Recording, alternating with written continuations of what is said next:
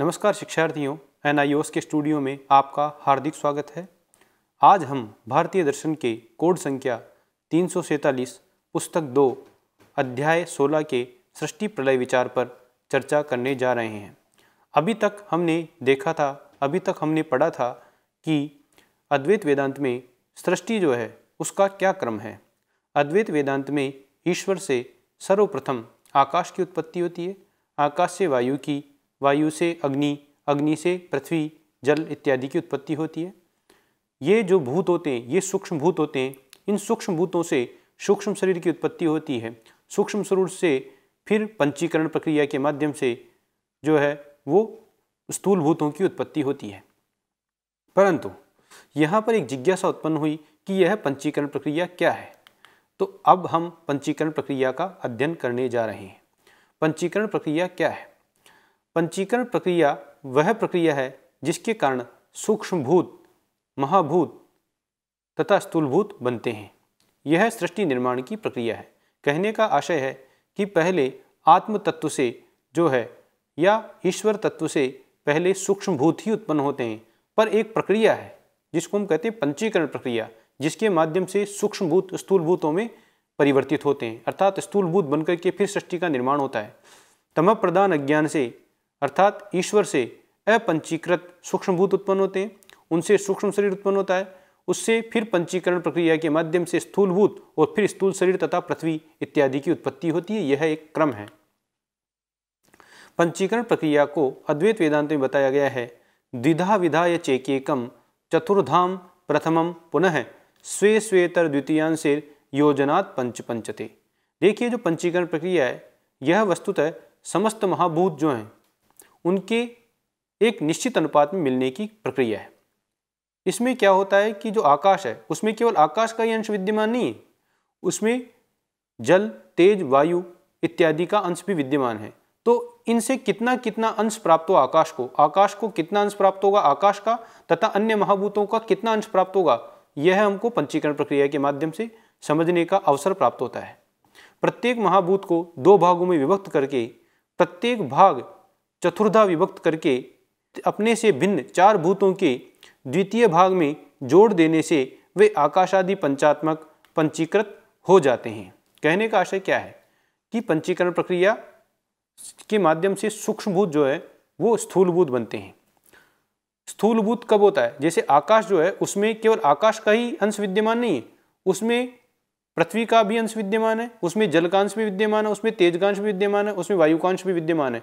जब ये पाँचों महाभूत परस्पर सम्मिश्रित हो जाते हैं, तब वह महाभूत कहलाते हैं। उसके पहले वो सूक्ष्मभूत कहलाते हैं।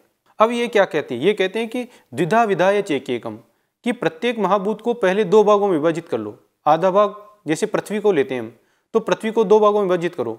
वन बाई टू पृथ्वी हो गया और वन बाई टू इसका अलग भाग हो गया। अब ये जो वन बाई टू है जो शेष बचा हुआ है, इसको चार भागों में विभाजित कर लिया one by eight one by eight one by eight one by eight यानी एक चौथाई भाग। तो ये जो one by eight one by eight है, उसमें आधा भाग तो पृथ्वी का है। पृथ्वी में आधा भाग पृथ्वी का है और एक बटे हुए आठ भाग जल का, एक बटे हुए आठ भाग तेज का, एक बटे हुए आठ भाग वायु का और एक बटे हुए आठ भाग आकाश का होता है। इसी प्रकार जल में वन बाई टू जल का पार्ट है वन बाई एट पृथ्वी का पार्ट है, वन बाई एट तेज का पार्ट है, वन बाई एट वायु का पार्ट है, वन बाई एट आकाश का पार्ट है। इसी प्रकार तेज में वन बाई टू तेज का पार्ट है, वन बाई, अब इसका आधा भाग तो तेज का हो गया और आधे भाग को फिर चार भागों में विभाजित कर रखा है। पृथ्वी, जल, वायु और आकाश में एक बटे आठ, एक बटे आठ, एक बटे आठ, एक बटे आठ। तो ये जो अन्य भाग है, वो भी इसमें मिश्रित होकर के तेज महाभूत बनता है। इसी प्रकार वायु महाभूत को दो भागों में विभाजित कर लो जिसका आधा भाग 50 परसेंट वायु है और 50 परसेंट जो बच गया अर्थात एक बटे दो जो भाग है उसको पुनः चार भागों में विभाजित कर लो जिसमें आधा भाग पृथ्वी का आधा भाग जल का आधा भाग तेज का और आधा भाग आकाश का हो गया। यानी वन बटे एट इन चारों महाभूतों का हो गया। इसी प्रकार आकाश को दो भागों में विभाजित कर लिया जाए ए, एक बटे दो अर्थात वन बाई टू जो वो आकाश का है और वन बाई एट पृथ्वी का, वन बाई एट जल का, वन बाई एट तेज का और वन बाई एट वायु का। इस प्रकार प्रत्येक महाभूत में प्रत्येक महाभूत का अंश होता है। अर्थात पृथ्वी में केवल पृथ्वी का अंश विद्यमान नहीं है। उसमें जल, तेज, वायु और आकाश का अंश भी विद्यमान है। मतलब जो आधा अंश तो उसका स्वयं का विद्यमान है और बाकी जो आधा अंश बच गया, उसको चार भागों में विभाजित करके अन्य अन्य महाभूतों का अंश भी विद्यमान हो जाता है। इसको हम कहते हैं पंचीकरण। अर्थात पंच महाभूतों के निश्चित अनुपात में मिलने की प्रक्रिया। जिसके माध्यम से सूक्ष्म भूत जो हैं, वो पंच महाभूत बनते हैं। सूक्ष्म भूतों में केवल अपना ही अंश विद्यमान होता है, जैसे आकाश में केवल शब्द का अंश विद्यमान है, और अन्य महाभूत का अंश विद्यमान नहीं है, इसलिए वो सूक्ष्म भूत है। पर वही पंच महाभूत कब कहलाता है? जब उसमें पृथ्वी, जल, तेज, वायु इत्यादि अन्य महाभूतों का अंश भी एक निश्चित अनुपात में मिल जाता है, पंचीकरण के माध्यम से मिल जाता है, फिर वह पंचमहाभूत कहलाता है। इसको हम कहते हैं पंचीकरण। तो फिर आप यहाँ एक जिज्ञासा होती है कि आकाश में आकाश का आधांश तो विद्यमान है और बाकी वन बाई एट जो है, वो उसमें तेज कांश विद्यमान है, वन बाई एट उसमें पृथ्वी कांश विद्यमान है, वन बाई एट उसमें वायु कांश विद्यमान है और वन बाई एट उसमें अन्य महाभूत का अंश विद्यमान है। तो फिर उसको आकाश क्यों कहा जाता है? उसको आकाश इसलिए कहा, क्योंकि उसमें तो सभी अंशों का विद्यमान है, उसको और कोई नाम से भी पुकारा जा सकता था। तो ब्रह्मसूत्र कहता है वेशिष्यात्तु तद्वादस तद्वाद है अर्थात पंच महाभूतों के समान रूप से पंचात्मक होने पर भी, अर्थात प्रत्येक महाभूत में, प्रत्येक महाभूत का अंश विद्यमान होने पर भी उसमें अपने अपने भाग के विशेष भाव आधिक्य होने के कारण, वेशिष्यात विशेष भाव के कारण उसका नाम उस व्यवहार से होता है। इस न्याय से आकाश आदि नाम संभव होते हैं। कहने का मतलब है कि आकाश जो है, उसमें एक बटे हुए दो भाग आकाश का है। वन बाई टू पार्ट आकाश का है शेष वन बाई एट पार्ट अन्य महाभूतों का, इसलिए चूँकि ज़्यादा पार्ट आकाश का है, इसलिए उसको हम कहते हैं आकाश। अपने अपना भाग उसमें विशेष रूप से वैशिष्यात विशेष रूप से उसका भाग उसमें विद्यमान है, इसलिए उसको हम आकाश कहते हैं। उसी प्रकार जल में वन बाई टू पार्ट जो है वो जल का है। वन बाई एट पार्ट आकाश, पृथ्वी जल, वायु इत्यादि का है। परंतु वन बाई टू पार्ट उसका खुद का है, इसलिए उस जो महाभूत है, उसको उस नाम से पुकारा जाता है। अब पंचीकरण एवं तीव्रतकरण। पर हम चर्चा करते हैं। एक यहाँ पर शंका होती है कि पंचीकरण का उल्लेख अद्वैत वेदांत में जो आया है, क्या कहीं वेदों में अथवा उपनिषदों में इसकी चर्चा आई है?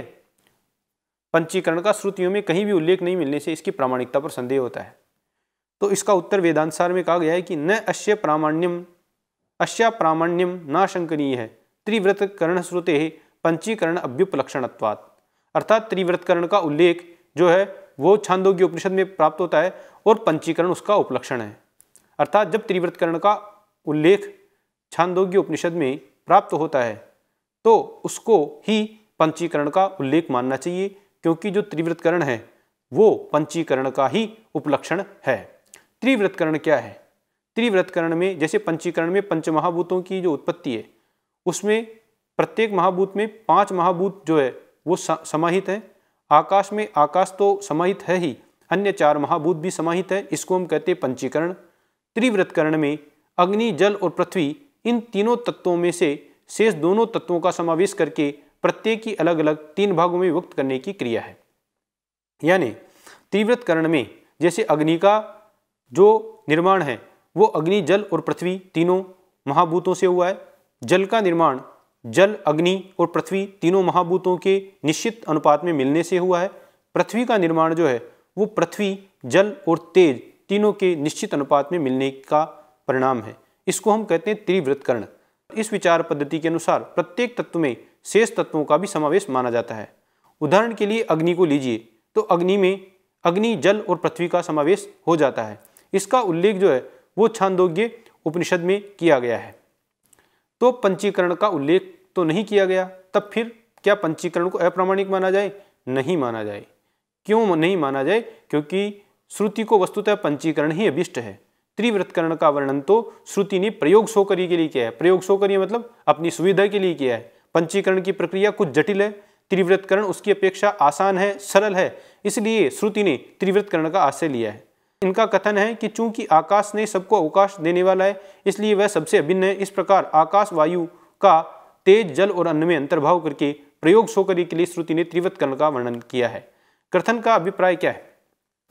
कथन का अभिप्राय यह है कि त्रिव्रतकरण का उपयोग जो छांदोग्य उपनिषद में किया गया है, उसमें उसी को पंचीकरण का उपलक्षण मानना चाहिए, अर्थात पंचीकरण का उल्लेख भी त्रिव्रतकरण के कारण मान लेना चाहिए।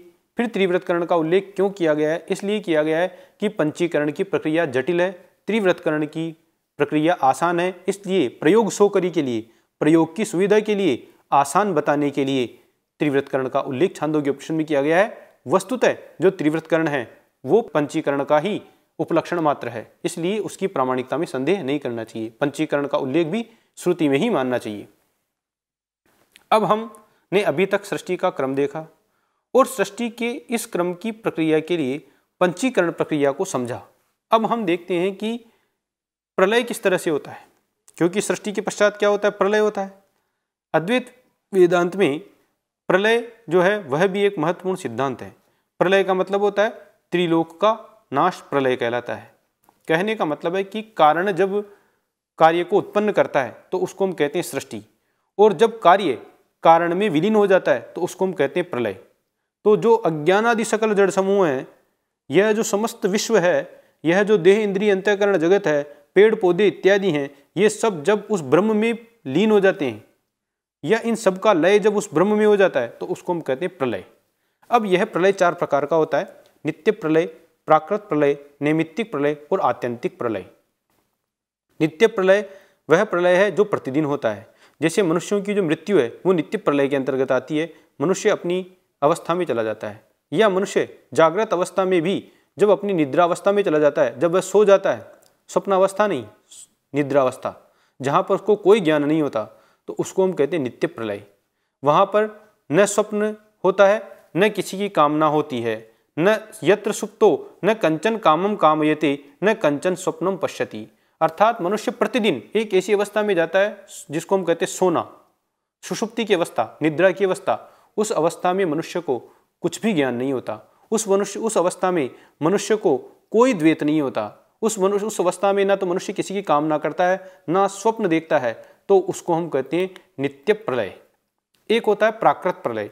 ब्रह्मांड के सभी भूखंड अथवा ब्रह्मांड का मिट जाना, नष्ट हो जाना, भस्म रूप हो जाना, यह प्राकृत प्रलय कहलाता है।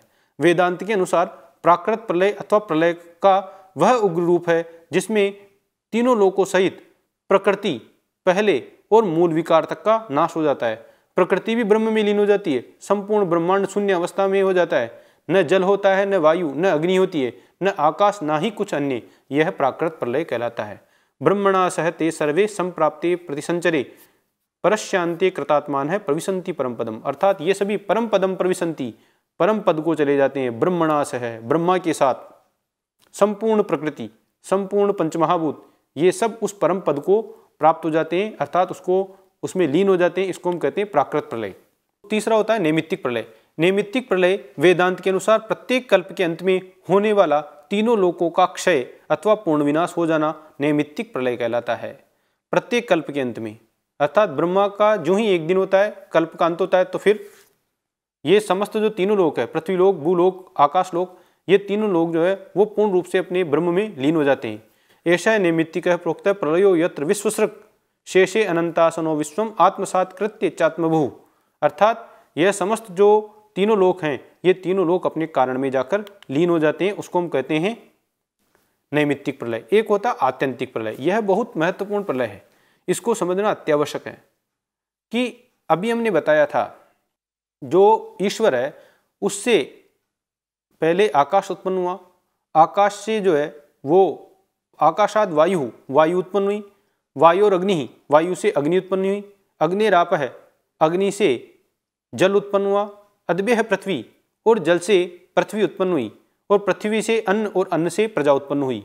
तो ये जो क्रम है, इसका उल्टा क्रम जो है, वो वापस लीन होता है। यानी सबसे लास्ट वाला, उसके पहले वाले में, उसके पहले वाला, उसके पहले वाले में, उसका पहले वाला, उसके पहले वाले में लीन होता जाता है। इसको कहते हैं प्रलय। इसको कहते हैं आत्यंतिक प्रलय। आकाशादि भूतों की उत्पत्ति का जो क्रम है, उसके उल्टे क्रम से जो प्रलय होता है, उसको हम कहते हैं आत्यंतिक प्रलय। इसका उल्टा क्रम इस प्रकार है कि गंध तन्मात्रात्मिका पृथ्वी, रस तन्मात्रात्मिका जल में प्रलय हो जाती है। जल जो है, वो तेज में प्रलय हो जाता है। तेज जो है, वो वायु में लीन हो जाती है। वायु जो है, वो आकाश में लीन हो जाता है और आकाश जो है, वो माया में लीन हो जाता है और माया जो है, वो ब्रह्म में लीन हो जाती है। महाभारत में भी आत्यंतिक प्रलय को बताया गया है। जगत प्रतिष्ठा देवर से पृथ्व्यपसु पलीयते, ज्योतिष्वाप प्रलीयते, ज्योतिर्वायो प्रलीयते, वायुश्च लीयते व्योमनी, तच्चा व्यक्ति प्रलीयते अव्यक्तम पुरुषे ब्रह्मन निष्कलेशम प्रलीयते। अर्थात कि हे देवर्षि नारद, यह जो पृथ्वी है, यह पहले जल में विलीन होती है, जिसको जल प्रलय कहते हैं। फिर यह जल जो है, वो अग्नि में विलीन होता है। अग्नि जो है, वो वायु में विलीन होती है। और वायु जो है, वो आकाश में विलीन होता है। आकाश जो है, वो अज्ञान में विलीन होता है, अर्थात माया में विलीन होता है।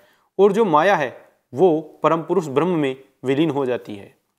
हमने बताया कि जो कि जो प्रलय होता है, वो उसके विपरीतक क्रम में ही होता है। क्यों? क्योंकि जो बताया था कि जो माया युक्त जो ब्रह्म होता है, ईश्वर होता है, उससे क्या होता है कि पहले आकाश उत्पन्न होता है, आकाश से वायु उत्पन्न होती है वायु से अग्नि उत्पन्न होती है, अग्नि से जल उत्पन्न होता है, जल से पृथ्वी उत्पन्न होती है। तो जो प्रलय का जो क्रम होता है, वो जस्ट इसके विपरीत होता है। यानी जो जिससे उत्पन्न होता है, वह उसी में विलीन हो जाता है कि पृथ्वी जो है, वो जो है, वो जल में विलीन हो जाती है, जल जो है, वो अग्नि में विलीन हो जाता है, अग्नि वायु में विलीन हो जाती है, वायु आकाश में विलीन हो जाती है, आकाश माया में विलीन हो जाती है, और माया स्वयं ब्रह्म में ही विलीन हो जाती है। इस प्रकार यह आत्यंतिक प्रलय होता है। इस प्रकार हमने सृष्टि का क्रम देखा और उसका प्रलय देखा, पंचीकरण प्रक्रिया देखी। आशा करता हूँ कि सभी शिक्षार्थी इन तथ्यों का अवबोध सम्यकतया कर लिया होगा। सादर नमस्कार।